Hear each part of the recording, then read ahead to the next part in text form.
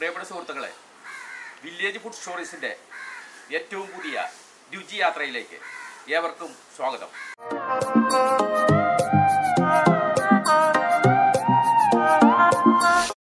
നമ്മുടെ ഇന്നത്തെ special item സേമിയ ബിരിയാണിയാണ്. സേമിയ ഉപ്മാവെന്നും പറയും. സേമിയ ബിരിയാണി കുട്ടികൾക്കൊക്കെ വളരെ ഇഷ്ടപ്പെടുന്ന ഒരു പ്രത്യേക ഐറ്റമാണ് തുടങ്ങാം.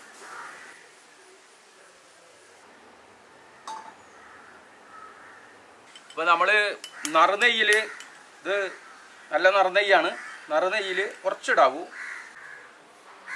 സുഹൃത്തുക്കളെ ഇത് സേമിയ എന്ന് പറഞ്ഞത് പായസത്തിനുള്ള സേമിയ അല്ല. പായസത്തിനുള്ള സേമിയ മഞ്ഞ നിറത്തിൽ നല്ല നീളത്തിലിരിക്കും അതുകൊണ്ട് ഉള്ള സേമിയ അല്ലത് സേമിയ ബിരിയാണിക്ക് വേണ്ടിയിട്ടുള്ള സേമിയാണ്.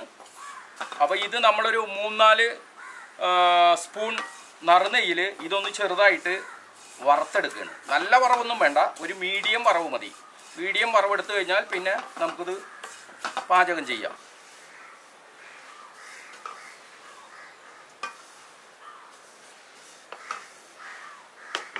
സേമിയ ബിരിയാണി ഉണ്ടാക്കാൻ പോണ്. വെളിച്ചെണ്ണ ഒഴിക്കണം. കടുക് ഇടണ്. കടുക്.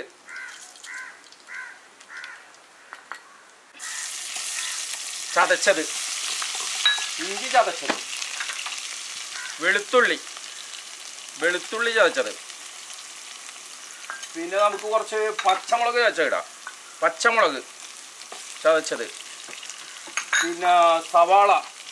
ഉള്ളി ഉള്ളിയിടാ സവാള ഇടാം. പക്ഷെ സവാളയാണ് കുറച്ചുകൂടി ടേസ്റ്റ് അതുകൊണ്ട് നമ്മൾ കുറച്ച് സവാളയാണ് ഇടുന്നത്. സവാള.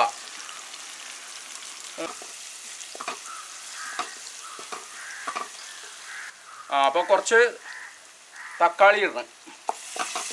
തക്കാളി നിർബന്ധമൊന്നുമില്ല പക്ഷെ ഉണ്ടെങ്കിൽ സൂപ്പർ ടേസ്റ്റാണ് ഇനി നമുക്ക് ഇതൊന്ന് വഴറ്റണം. നന്നായിട്ടൊന്ന് വഴറ്റി വരണം. ഏ?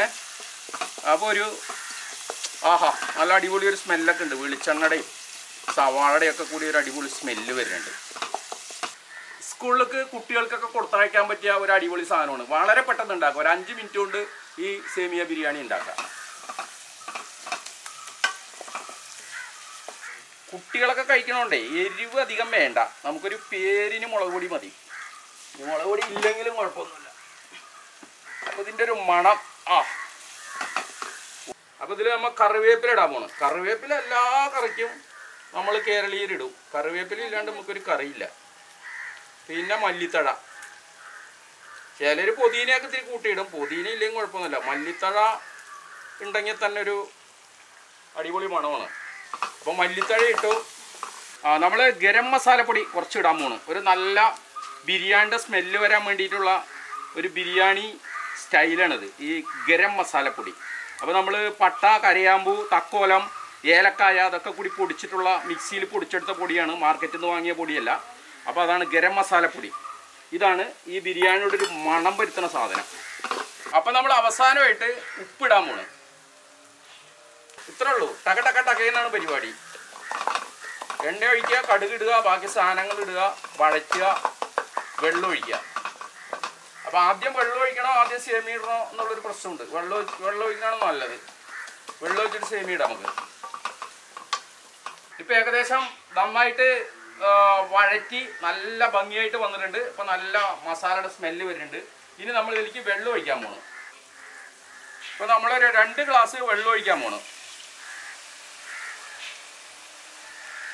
രണ്ട് ഗ്ലാസ്. മൂന്ന് ഗ്ലാസ് വെള്ളം ഒഴിക്കാം.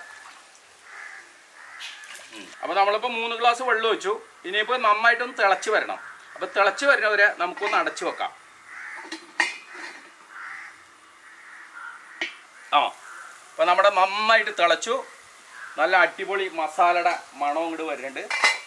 ഇനി നമുക്ക് സേമിയ. നമ്മൾ നെയ്യിൽ വറുത്ത് വെച്ചിരിക്കുന്ന സേമിയ. ഞാൻ നേരത്തെ പറഞ്ഞു ഈ സേമിയ പായസത്തിന്റെ സേമിയ അല്ല ക- വണ്ണമുള്ള സേമിയ അല്ല ഇത് വളരെ വണ്ണം കുറഞ്ഞിട്ടുള്ള ഇതിന് വേണ്ടിയിട്ടുള്ള സേമിയാണ്. ഇതുകൊണ്ട് ഉപ്മാവ് ഉണ്ടാക്കാം. നമുക്ക് ഈ പറഞ്ഞ ഉപ്മാവ് തന്നെയാണ് ഈ സാധനം. പക്ഷേ അത് ഈ മസാലയൊക്കെ ഇട്ട് വരുമ്പോൾ അതിനൊരു ബിരിയാണി സേമിയ ബിരിയാണി എന്നാണ് നമ്മൾ പറയണത്. അപ്പോൾ അത് ഇത് ഇതിലേക്ക് ഇടാൻ പോകണം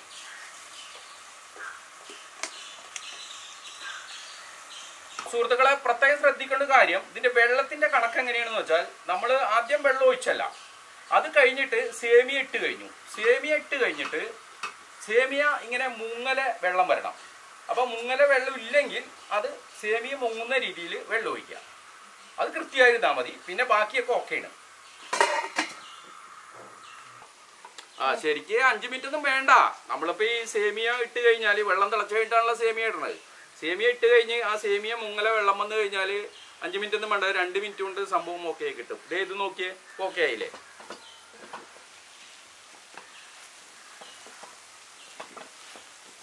നമ്മുടെ സേമിയ ബിരിയാണി റെഡി ആയിട്ടുണ്ട്.